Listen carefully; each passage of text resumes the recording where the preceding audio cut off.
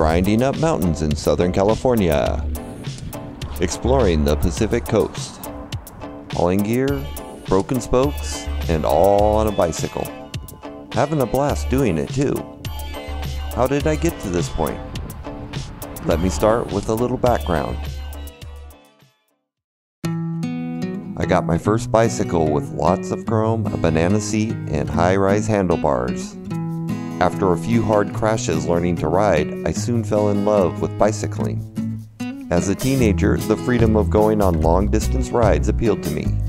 The idea of touring the Pacific coast and going across the United States was now firmly in my mind. Now in my 50s, I finally took the step to make it happen, starting with the Pacific coast.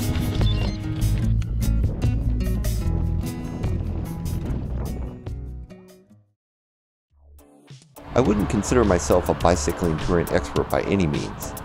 I've gained experience by riding a few one to three night trips over the years. These confirmed my appreciation and enjoyment of touring. This tour by far is my longest and most ambitious adventure. I'm planning to ride alone. This presents challenges, but also has advantages. I can be in full control of my experience and pace. I spent many hours researching and planning specific routes. On the coast portion, I followed a lot of the official Pacific Coast route. Although there are many spots where I make my own way, it should work out okay.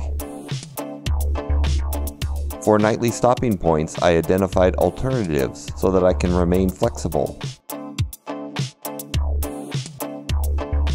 For physical conditioning, I'm normally active and ride my bike often, so I already felt prepared. However, I was deliberate in riding my bicycle more as the departure date approached.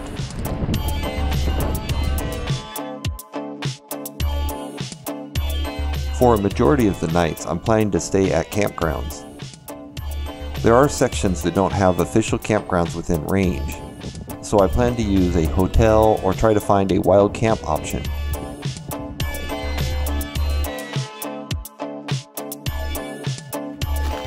Alright, enough on the background. Let's get on to the trip. I hope you enjoy following along on my journey.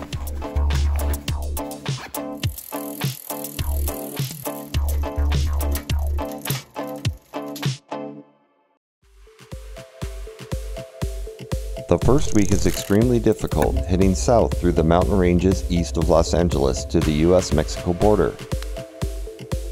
I then head north, sticking to the coastline of California.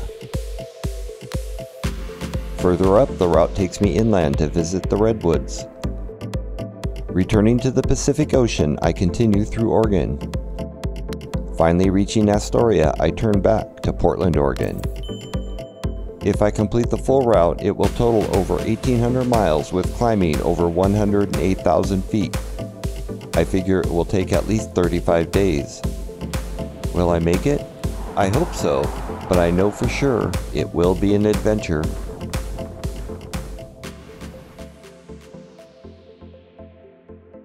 Although I'll be bicycling alone, my wife and I are traveling together from the Portland area by car down to the starting point east of Los Angeles.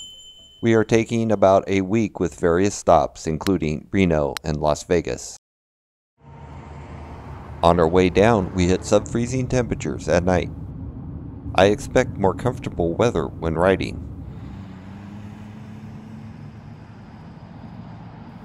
At Beatty, Nevada, I was able to squeeze in a short bike ride and visit the ghost town of Rhyolite.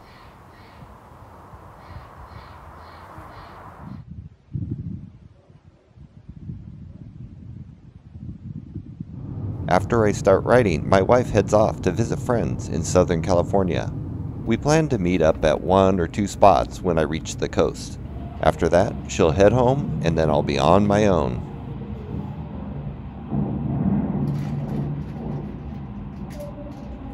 On the first day of my tour, we drive down Interstate 15 about 225 miles from Las Vegas to Cajon Junction. Due to the drive, I plan for a late afternoon start and a short distance of 12 miles. This includes about 1200 feet of climbing to reach camp at Silverwood Lake. With this short distance, I expect a relaxing and easy start of the tour. It seems a little weird, pulling off on the side of the road at what seems like a random location. But it feels good to hit the road and finally start riding. First hill climb, coming right out of Cajon Junction. Fire engine passing me here. Something happening up here.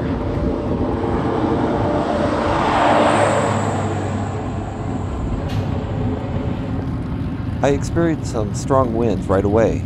It's not too bad. This is a 3% to 4% grade, which isn't bad at all. But I know it gets a lot steeper in, in certain sections. The hills are moderately steep, averaging 4 to 5% grade.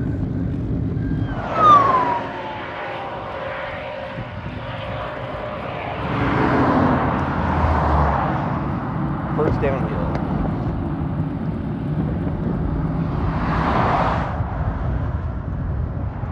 For the first half of the ride on Highway 138, the traffic is a constant stream of vehicles. There are wide shoulders, so other than noise, it's not an issue. Fortunately, about halfway up, most of the traffic turned off on another road. This reduced traffic significantly.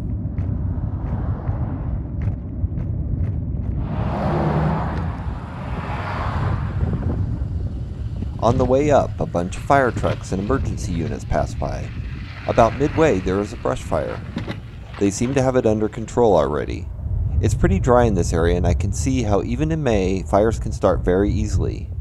You can tell they are diligent about getting there quickly. This makes sense considering the wildfire danger in California.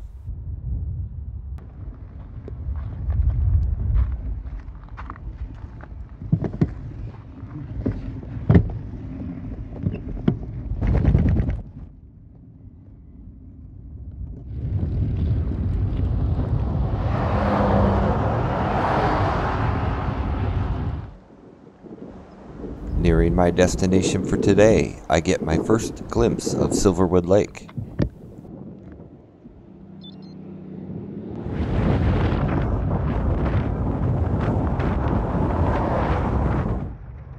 Judging by the number of queue lanes and signage into the park, it looks like this lake is popular with boaters.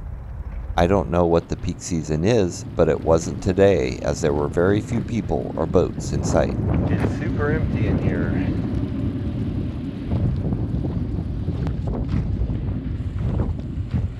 Silverwood Lake has hiker biker campsites. Many of the state parks have these. They're nice because you don't pay full standard campsite rates and you don't need to make reservations. So I think any of these, scope it out.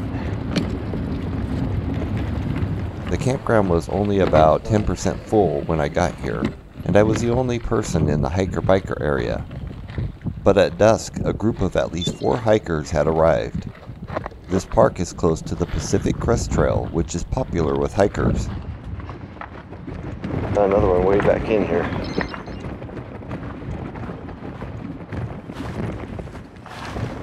Might be a keeper. As long as the bugs aren't too bad. Okay, I think I found the spot. I'm gonna set up the camp here. Should be good. Think. Fairly windy here. I'm gonna go ahead and set up the tent and get the campsite going. The grade wasn't too bad. I thought it was to be, you know, getting up into the double digits, but it stayed five, six percent grade most of the way, so it was fine. Uh, there's nobody here at the campsite. Well, there's there's a few people. Uh, there's nobody at the hiker biker sites that I've seen, and there's a lot of sites here, so um, plenty of room at least this time of year. Got my uh, um, solar panel going to recharge my uh, uh, Wahoo bike computer it was pretty low. I forgot to charge it from my last ride, so um, I think there's enough sun. It should easily charge it, no problem, completely up. Yeah, I got the campsite set up and the tent set up back there. You can see it. Got all my stuff on the table here. With some miles and climbing now in the books and no issues, I'm off to a good start. I feel some relief now that things are underway. I'll get some rest and get ready for a hard day tomorrow. In the next episode, I climb to the rim of the world. Highway Patrol blocks my path. And Big Bear Lake. Be up the road. So